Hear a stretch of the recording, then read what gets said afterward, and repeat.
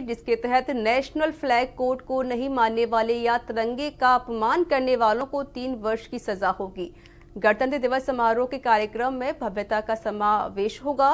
कार्यक्रम में plastic polythene के झंडे किसी भी सूरत में उपयोग न होंगे और मात्र खादी के बने झंडे ही मान के अनुसार ही स्वीकार किए जाएँगे। गणतंत्र दिवस समारोह का मुख्य आकर्षण बैंड वादन होगा। और इसके साथ ही जनपद में सरकार द्वारा संचालित योजनाओं की जानकारी ग्रामीण स्तर तक अभियान चलाकर पहुंचाई जाएँगी। वहीं जिलाधिकारी शिव सहाय अवस्थी ने कहा कि गणतंत्र दिवस के कार्यक्रमों की थीम तिरंगे झंडे का सम्मान और उसका विधिवत डिस्पोज है।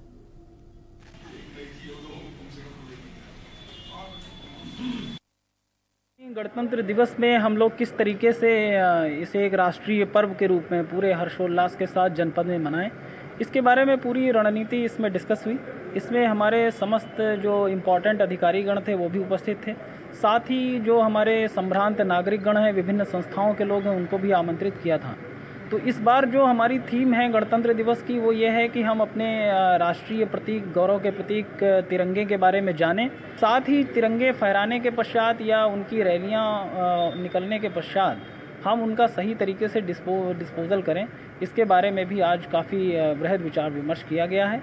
इस संबंध में हम लोगों ने रणनीति बनाई है, काम करेंगे और इस बार तिरंगों का अपमान ना हो किसी तरीके से, इसके लिए हम पूरा प्रयास करेंगे।